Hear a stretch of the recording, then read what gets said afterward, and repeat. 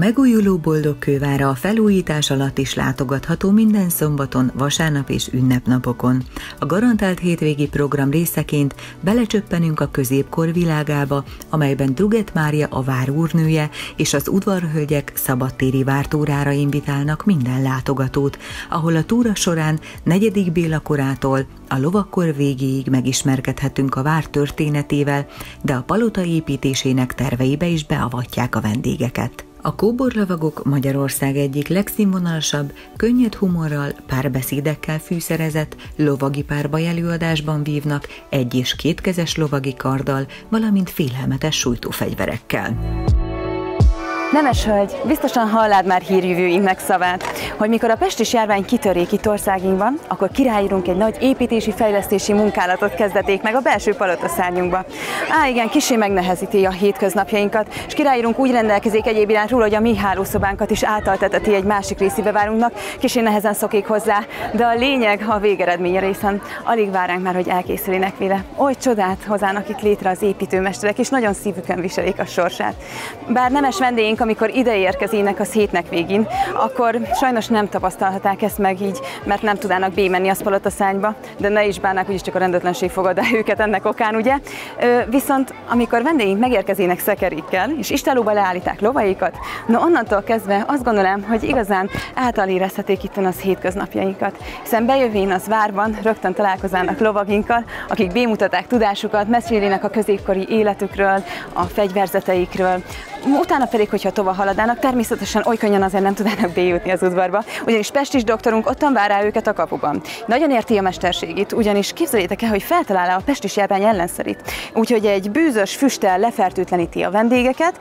Én mindig mondám nékik, hogy biztos, ami biztos azért két-három miatjánkat mormolának el mellé, no onnantól kezdve akkor bejöhetének, és akkor nemes vendégeink az alsó szintet végig tekinthetik. Ott vagyon a várbörtönünk is. Én javasolám, hogy ha már erre járának nemes vendégek, akkor ezt mindig a végére hagyják mert ugye nem mindenki tér onnan vissza, úgyhogy előtte legalább még járnának körbe udvarinkba is, és hogyha gondolják, mindig figyelmezik a napnak állását, mert minden egész órában, 10 órától 17 óráig pedig bémutatáma várnak legendáját és több, úgy rendelkezik királyunk, hogy udvari festőinkkel néhány festményt is készítették arról, hogy miként nézzék ki majd várunk az jövendőben, mikor elkészülének véle, úgyhogy erről is még mondék néhány mondatot nékik.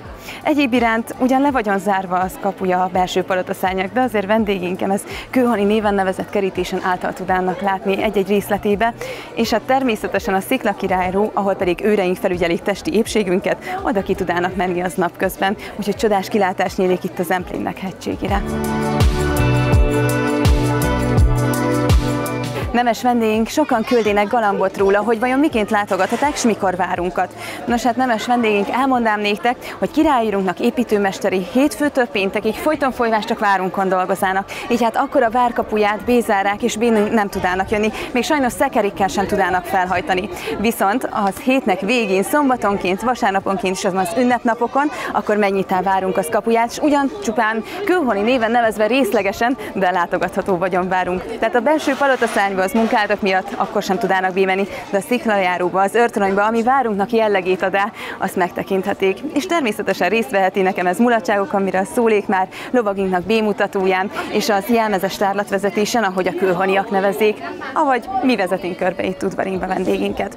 Egyéb iránt, amikor vagyon egy kis szünet itten az lovagink bémutatója között, akkor pedig kipróbálhatják magukat a nemes lovagok is, akik ide érkezének, ugyanis csillagdobálásban, a csatacsillag jobban vethetik össze tudásukat. Úgyhogy vendégünk, hogyha érezitek magatokban kedves erőt, mindenképpen járátok el hozzánk, és próbálátok ezt ki majdan.